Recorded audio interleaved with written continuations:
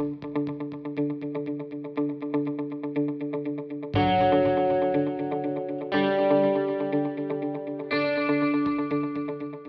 everyone, today I'm going to show you how to create wet map using VOP and Solver in Houdini. Okay, so over here we have this situation where we have one water surface and there is one floating object on it. So basically we have to create wet map that is basically generated uh, whatever the surface that is underneath of that water surface and we need to keep the wet impact caused by the water on the surface for a while and then slowly dissolve it. Okay, so let's move into that scene. Okay, so over here I have this particular scene in which I have one floating object that I created through one sphere onto which I just apply one mountain and on that I just apply one transform to animate that particular stuff. Okay, while for water, I create one high res grid on which I just apply mountain and over here I just animate my X and Y offset to get some water effect over here. Okay, so now let's move into our main task that is to create wet map and for that reason as I already told you that we have to keep that wet impact onto that object. And for that purpose over here that solver is good option for that. Okay so over here I just use my object as first input this grid as my second input. And over here I create one visualize. Okay. Now what I need to do is that over here I need to create attribute create operator. I just apply it over here and over here I just assign the name to be wet map and I just set this value is 0 now I just duplicate this particular stuff over here. I just assign it over here and now over here I just need to apply that value to be 1 okay? So now I just go inside this particular solver but before we go over there I just activate display flag on visualizer. And I just select visualizer and over here I just apply that wet map. One more thing that I want to apply over here first of all I just apply the template flag over here on. And over here I just need to lock this particular view over here. So now I just go inside this particular thing. And see first of all what I need to do over here is that I need to create one impact or you can say that wet map that is basically interact or intersect with that particular surface. And to do that over here first of all I just apply one attribute copy in which I just assign this as input 1 as my this copy attribute to and this is copy attribute from. And in which over here I just define that wet map I remove that color over here. And over here I just remove this match p attribute. Okay? Now over here I apply attribute transform. I just apply this object over here. This input 2 is my water surface grid that is and I just apply it over here now I just need to apply that I want to transform my wet map from here to here. I just uncheck this primitive go to condition. And over here I just reduce this distance threshold maybe 0.01 and over here 0.08 maybe.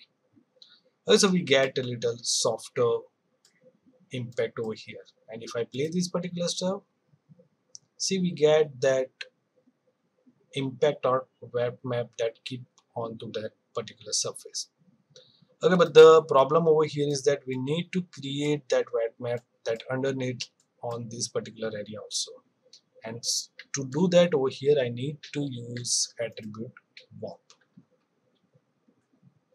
Okay in which I just assign this sphere and input 2 over here activate display flag over here. I just go inside this particular stuff and over here I have one intersect operator in which I have to assign this file.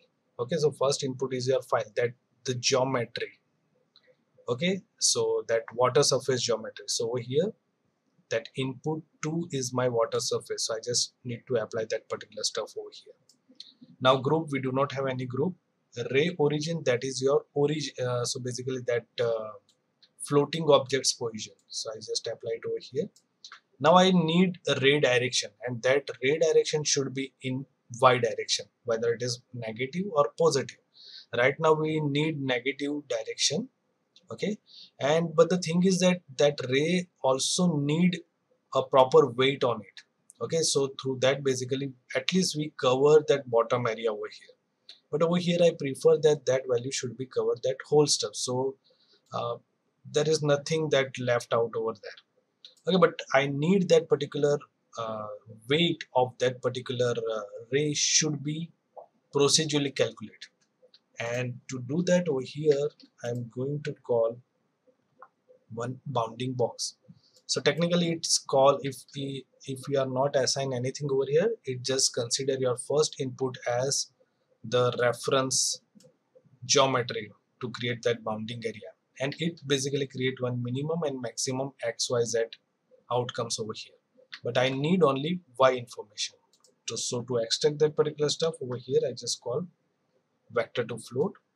I just assign over here. I just duplicate this particular stuff change the input over here. And now over here we have that y information and I just apply subtract over here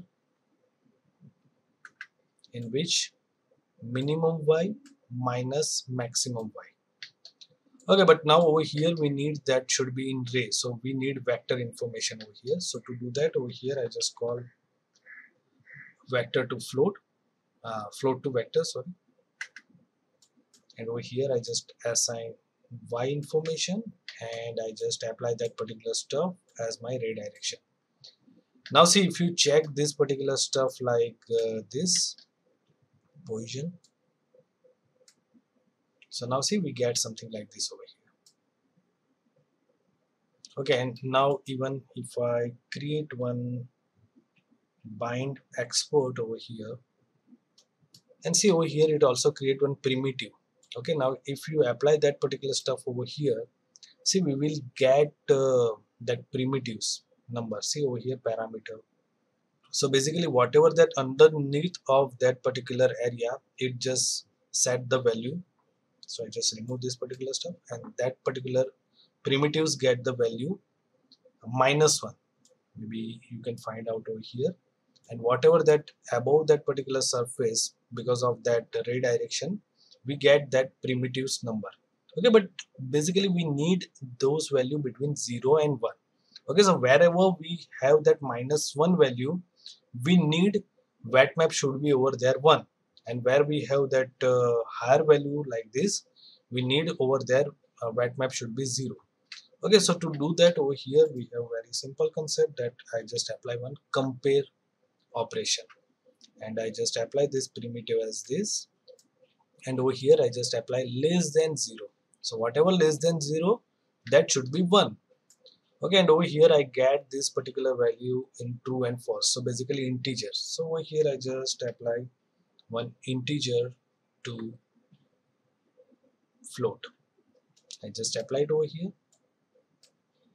Okay and now maybe over here I just name it as wet map and maybe you just apply this particular stuff over here and see you will get something like this.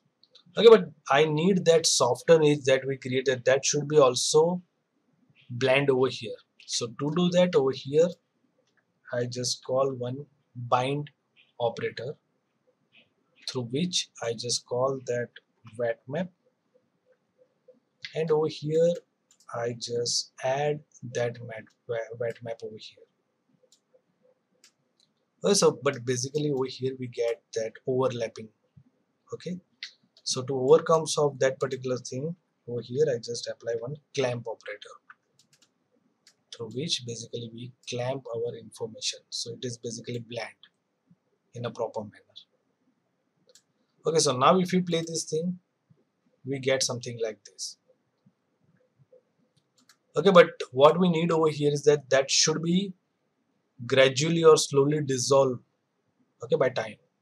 So to do that over here i'm going to create one parameter. And i just apply gain over here gain. And I just put value maybe 0.98 over here. And that should be multiplied with your wet map. Okay so now you come over here and maybe play this particular stuff see now you can get that particular stuff dissolved slowly. And if you want to try that values like maybe 0.9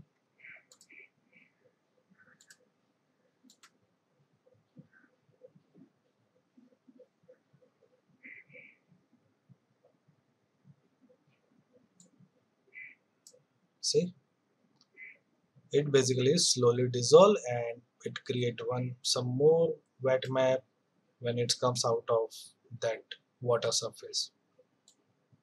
Okay so that's how you can create your wet map attribute using